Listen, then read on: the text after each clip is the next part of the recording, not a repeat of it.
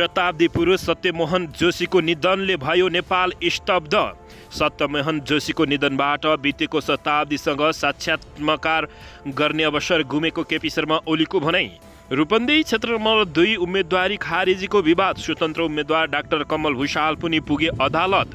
सर्लाहीमा बन्धकमा परेका पुरुषलाई प्रहरी उद्धार गर्न जाँदा झडप छजना प्रहरी घाइते। नेकपा एमाले जसपा गठबन्धन टुटेको बाह्र क्षेत्र नम्बर तिनमा पनि त्रिपक्षीय भिडन्त। सत्तारूढ दल गठबन्धनलाई कति फाइदा र बेफाइदा यसबारे सम्पूर्ण जानकारी सत्तारूढ दल गठबन्धनका शीर्ष नेताले आज संयुक्त प्रशिक्षण दिँदै सत्यमोहन जोशीले नेपाली संस्कृतिको क्षेत्रमा गरेको योगदान राज्यले सधैँ सम्झिरहनेछ प्रधानमन्त्री शेरबहादुर देउबा जुम्लामा त्रिपक्षीय भिडन्त सत्तारूढ दल गठबन्धन र नेकपा एमालेलाई राप्रपाका ज्ञानबहादुर शाहीको चुनौती।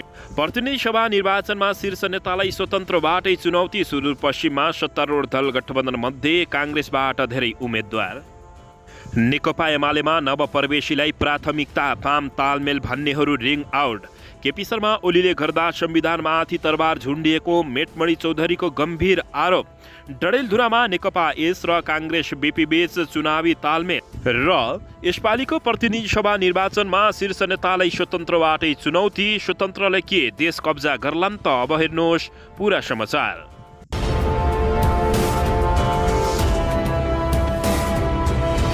दर्शकबिन नमस्कार। तपाईँहरू यति बेला युआर नेपाली युट्युब च्यानल हेर्दै हुनुहुन्छ। दर्शकबिन यदि हाम्रो च्यानल युआर नेपालीसँग अझै पनि सब्सक्राइब गरेर जोडिनु भएको छैन भने सब्सक्राइब गरी जोडिनुहोला साथै सँगै रहेको बेल आइकनलाई दबाउन पनि नभुल्नुहोला।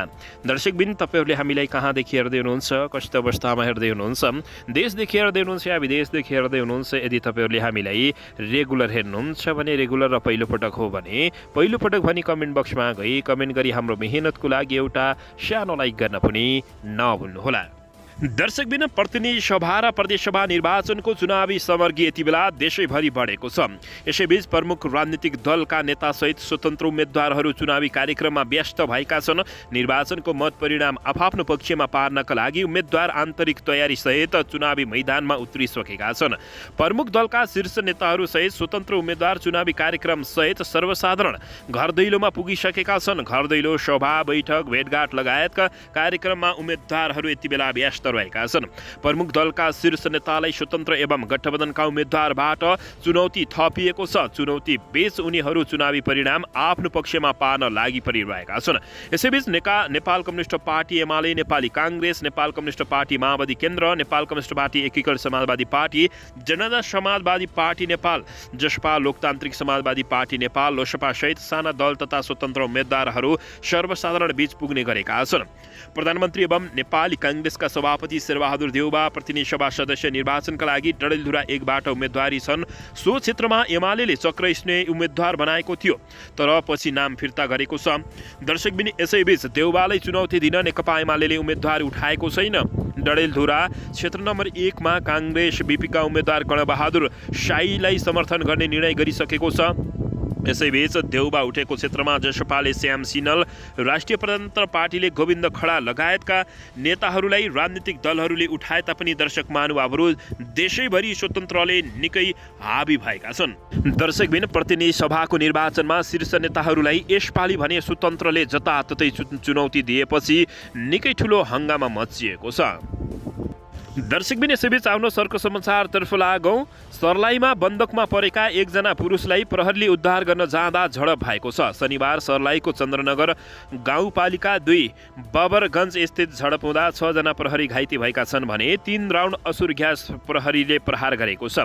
स्थानीय धर्मेन्द्र शाहको बिस वर्षीय छोरा र भक्ति यादवका बाइस वर्षीय छोरा असोज तेह्र गते फरार भएको विषयलाई लिएर केटी पक्षले केटाको काका बैसठी वर्षीय गणेश राईलाई कुशवा धर्मशाला बजबरगञ्जमा बन्दक बनाइराखेका थिए। बन्दक बनाइराखेको खबर पाएपछि उनलाई उद्धार गर्न जाँदा झडप भएको प्रहरी प्रवक्ता प्रहरी नायब उपरीक्षक विजय यादवले जानकारी दिएका छन्। राईलाई प्रहरीको टोलीले टोली उद्धार गर्न जाँदा करिब दुई सय पचास तिन सयजना मानिसहरू जम्मा भई प्रहरीमाथि ढुङ्गामुढा प्रहार गरी नम्बर नफुलेको अपाची मोटरसाइकलमा आगजानी गरेका थिए। सोही झडपलाई नियन्त्रणमा लिन खोज्दा छजना प्रहरी घाइते भएको प्रवक्ता यादवले बताएका छन्। यसैबीच प्रहरीले ढुङ्गामुढा गर्ने पन्ध्रजनालाई नियन्त्रणमा लिए पनि पछि आठजनालाई छाडेको र सातजनालाई नियन्त्रणमा राखी थप अनुसन्धान थालेको जिल्ला प्रहरी कार्यालय सर्लाहीले जानकारी दिएको छ। दर्शकबिन यसैबीच आउनुहोस् अर्को समाचारतर्फ लागौँ। शताब्दी पुरुष भनेर चिनिने सत्यमोहन जोशीको निधनले नेपाल नै स्तब्ध बनेको छ।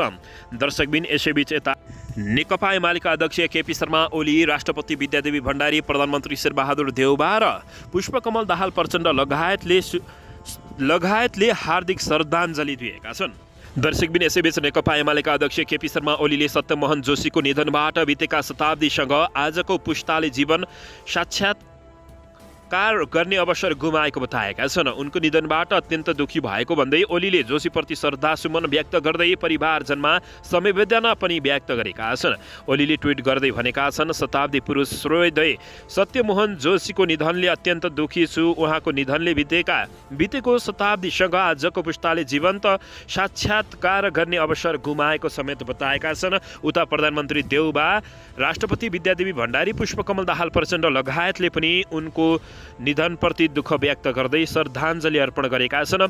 रूपन्देही दुई दर्शकबिन यसैबीच यता रूपन्देहीको क्षेत्र नम्बर दुई उम्मेदवारी खारेजीको जताततै विवाद चर्किएको छ भने स्वतन्त्र उम्मेद्वार डाक्टर कमल भूषाल पनि अदालत पुगेका छन्। के होला त्यो भने हेर्न बाँकी छ।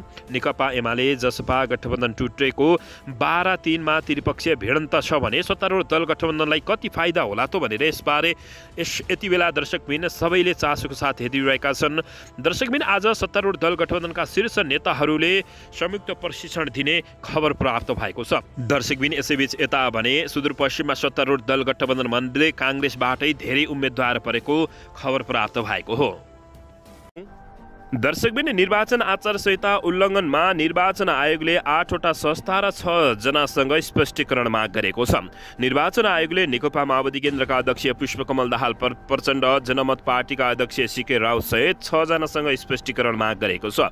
त्यस्तै निर्वाचन आयोगले अर्थ मन्त्रालय बिमा समिति प्रज्ञा प्रतिष्ठान लगायत आठ संस्थासँग पनि निर्वाचन आयोगले स्पष्टीकरण मागेको छ।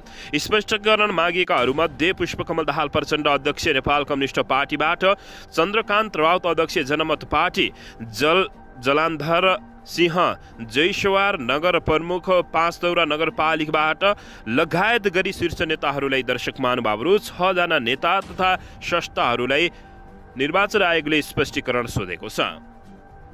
दर्शकबिन आउनुहोस् यसैबीच अर्को समाचारतर्फ लागौँ। नेकपा एमालेका वरिष्ठ उपाध्यक्ष ईश्वर पोखरेलले डेङ्गु महामारी नियन्त्रण गर्न शेरबहादुर देउवा नेतृत्वको वर्तमान सरकार असफल भएको बताएका छन्।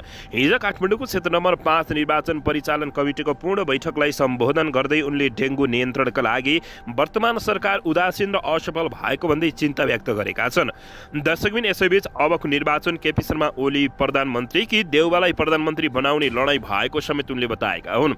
आफू को पालामा कोरोना महामारी नियन्त्रणका लागि गरिएका प्रयासबारे जानकारी दिँदै उनले नेपालमा कोरोना परीक्षण गर्ने कुनै ल्याब नहुँदा पनि केपी शर्मा ओली नेतृत्वको सरकारले अठासीवटा कोरोना परीक्षण केन्द्र स्थापना गरेको जानकारी दिँदै वरिष्ठ उपाध्यक्ष पोखरेलले अबको निर्वाचन केपी शर्मा ओलीलाई प्रधानमन्त्री बनाउने कि शेरबहादुर देउबालाई बनाउने भन्ने लडाइँको रूपमा बुझ्नुपर्ने समेत उनले बताएका छन्। नेकपा एमालेसँग जनताको चाहना पुरा गर्ने सपना र योजना रहेको तर गठबन्धनसँग कुनै सोच योजना दृष्टिकोण भविष्य र गन्तव्य नरहेको उनले ठोकुवा गरेका छन्। दर्शकबिन यसैबीच आउनु समाचारतर्फ लागौँ। नुवाकोट क्षेत्र नम्बर एकबाट नेकपा एमालेका उम्मेद्वार बद्री मैनानीले मतदातालाई पैसा बाँडेको भन्दै निर्वाचन आयोगले स्पष्टीकरण सोधेको छ। औषधि उपचारको बाहनामा नगद वितरण गरेको र उक्त कार्य निर्वाचन आचार संहिता दुई हजार उनासी विपरीत भएको भन्दै परेको उजुरीका आधारमा निर्वाचन आयोगले मैनालीसँग स्पष्टीकरण सोधेको छ। आयोगका सहप्रवक्ता कमल भट्टराईले दिएको जानकारी अनुसार मैनानीलाई तिन दिनभित्र स्पष्टीकरण पेश गर्न भनिएको छ। त्यस्तै आचार संहिता विपरीत कार्य गरेको ठहर गर्दै आयोगले नेकपा माओवादी केन्द्रका अध्यक्ष पुष्पकमल दाहाल प्रचण्ड लगायतका व्यक्ति तथा संस्थालाई पनि स्पष्टीकरण सोधेपछि उनीहरूको उम्मेदवारी पनि खारेजी हुन सक्ने बताइएको छ। दर्शकबिन यसैबीच आउनु सरको समाचारतर्फ लागौँ। नेपाली काङ्ग्रेसका वरिष्ठ नेता रामचन्द्र पौडेलले जनतालाई मालिक बनाउने गरी काम गर्ने सपना रहेको बताएका छन्। ब्यास नगरपालिका बाह्र स्थित कमला बारीमा आज आयोजित कार्यकर्ता भेटघाट कार्यक्रममा उनले सङ्घीय लोकतान्त्रिक गणतन्त्रको रक्षा गर्दै देशमा सुशासन कायम गर्नु अहिलेको मुख्य लक्ष्य भएको बताएका छन्। दर्शकबिन यसैबीच आउनु सरको समाचारतर्फ लागौँ। आसन्न प्रतिनिधि सभा र प्रदेशसभाको निर्वाचनमा नेकपा एकीकृत समाजवादी डडेल धुरा र नेपाली काङ्ग्रेस बिपी बीच तालमेल हुने भएको छ। यो सँगै प्रधानमन्त्री देउबालाई धक्का लागेको छ। शनिबार पत्रकार सम्मेलन गर्दै दुवै पार्टीले मङ्सिर चार गते हुने निर्वाचनमा संयुक्त रूपमा होमिने जनाएका छन्। प्रतिनिधि सभामा एक र प्रदेश सभामा दुईवटा निर्वाचन क्षेत्र रहेको डडेलधुरामा नेपाली काङ्ग्रेस बिपीले प्रतिनिधि सभामा कर्णबहादुर महल्ला मल्ललाई उम्मेद्वार बनाएको छ। सत्तारूढ दल गठबन्धन गठबन्धनबाट सन्तुष्ट नेकपा यसका नेता डाक्टर तारा जोशीले पार्टी परित्याग गर्दै स्वतन्त्र उम्मेदवारी दिएका छन्। पार्टी परित्याग गरे पनि जोशीलाई नेकपा यसले डडेलधुराले समर्थन गरेको छ। जस अनुसार एमा नेकपा यसले काङ्ग्रेस बिपीसँग तालमेल गरेको हो। नेकपा यस र काङ्ग्रेस बिपीसँग छ बुधे चुनावी समझदारी भएको एकीकृत समाजवादी जिल्ला अध्यक्ष कविन्द्र विष्टले जानकारी दिएका छन्। यसअघि नेकपा एमाले डडेलधुरासँग पनि चुनावी मोर्चाबन्दी हुने भने तापनि शुक्रबार एक प्रेस विज्ञप्ति जारी गर्दै नेकपा एमाले डडेलधुराले काङ्ग्रेस बिपीसँगको चुनावी गठबन्धन भङ्ग गरेको जानकारी दिएको थियो।